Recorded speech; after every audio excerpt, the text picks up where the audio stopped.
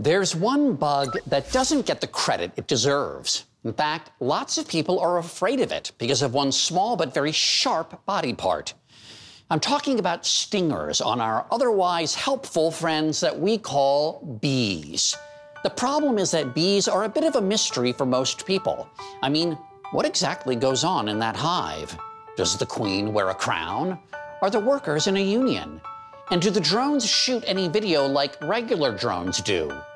Well, now these questions can be answered because bees we can watch when they arrive in their once enclosed, now see through, hive. We tend to think of beekeeping as looking something like this. oh, wow. This is a first for me. But now, thanks to an innovation by Italian inventor Roberto Pasi, beekeeping can look a little more like this. I spoke with Roberto, who buzzed in from near Florence, Italy, to tell me all about the B-Box from his aptly named company headquarters, Beeing. Hello, Roberto. Glad to have you with us on Innovation Nation. Ciao, Mo. Tell us who helped inspire your idea for the urban hive. The idea came from uh, the experience working with my grandfather when I was a child, make me love the bees and all the nature system. So when I grow up, I start thinking how I can help bees.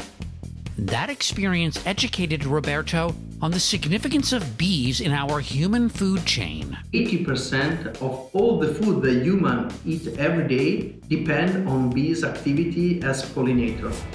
With the support of his co-founder Gabriele Garavini, a software engineer, the duo set out to find a modern and safe solution to help communities around the world take on beekeeping at their homes.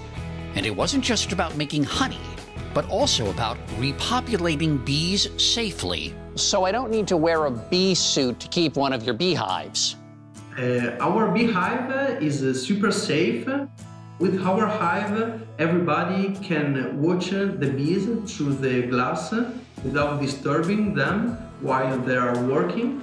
We also create a specific system to separate the nest where the bees live from the super where the bees collect the honey. Well, thanks for being on our show. Thank you for having me, Bo.